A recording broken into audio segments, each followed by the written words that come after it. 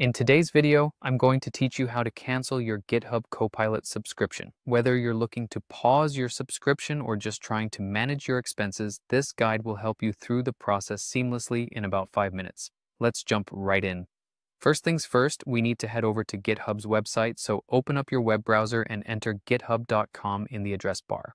Once the page has loaded, log in with your credentials. If you have multiple accounts or manage a team account, make sure you're logging into the correct account that you want to cancel the subscription from. Take a moment here to ensure everything's right because it makes the process smoother as we go along. Once you're successfully logged in, look towards the upper right corner of the page where you'll find your profile photo. Click on it, a drop-down menu will appear. From there, select Settings. This will take you to a page where you can manage your personal GitHub account settings. Navigating through these settings might seem a bit tedious at first, but don't worry, I'm here to guide you.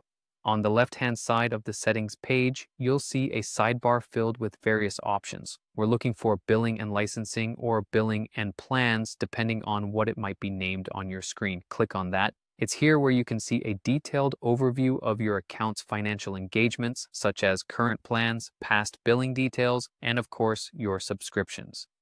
Now, once you're on the billing page, look for the section labeled GitHub Copilot.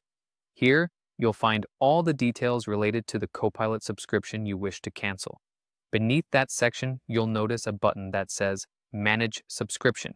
Clicking on this will open up further options related to the management of your Copilot subscription. Among these options, you'll see Cancel Subscription. Clicking this begins the cancellation process.